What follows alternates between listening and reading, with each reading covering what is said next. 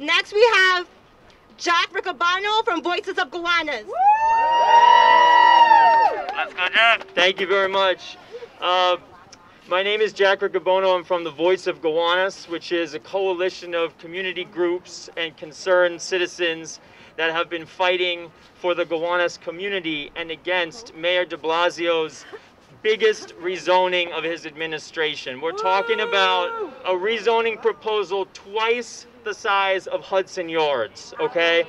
They want to blanket our neighborhood with 22 to 34 story luxury apartment towers. And we're saying enough is enough. And I want to say it's a beautiful thing to be here today with these communities from across the city. We were with our neighbors in fighting the Industry City project in the Sunset Park area. And we, I was on the steps of City Hall just a couple months ago speaking out against that project. And we need to join together and really fight as a group because that's where we're going to get community power. And I want to just say that Mayor de Blasio and our council member Brad Lander have been pushing for this development for a very long time and ignoring the health and safety issues. Now, common sense would tell you it's not a good idea to bring 20,000 new people into a FEMA flood zone A that oh, flooded during Sandy and have them live around a EPA designated Superfund site the Gowanus Canal, which is one of the most polluted waterways in the country. And Mayor de Blasio will tell you, oh, they've been cleaning that up for 10 years. The EPA just started dredging last month, and it's going to go on for at least another 10 years. And, and, and, and our council member, Brad Lander, who's been there for 11 years, was against that designation to begin with. It took community power to get that area designated a Superfund site so that we could fight the environmental injustices in that area. Now, in our community, there are 10,000 NYCHA residents, okay?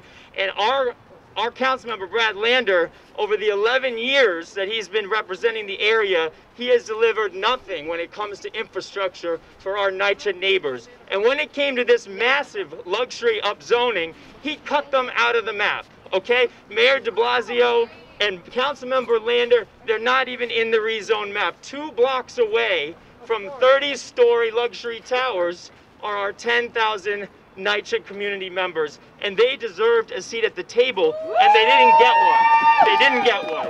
They demanded that the Department of City Planning release the environmental impact statement before certifying, and they refused to do so. They're planning to release it on January 19th and certify it right away.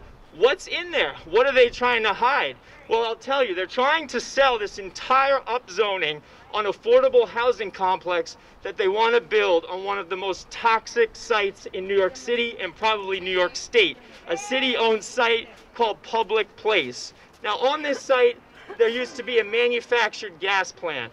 And let me tell you, that is some of the most toxic industrial waste that you can have. And it is seeped over a hundred feet deep into the soil, okay? And just on December 1st, the EPA's head engineer for the, for the Gowanus Superfund validated the community's concerns by saying the remediation efforts underway are not sufficient. Brad Lander and Mayor de Blasio want to put a school and an affordable housing complex on poisonous, toxic land.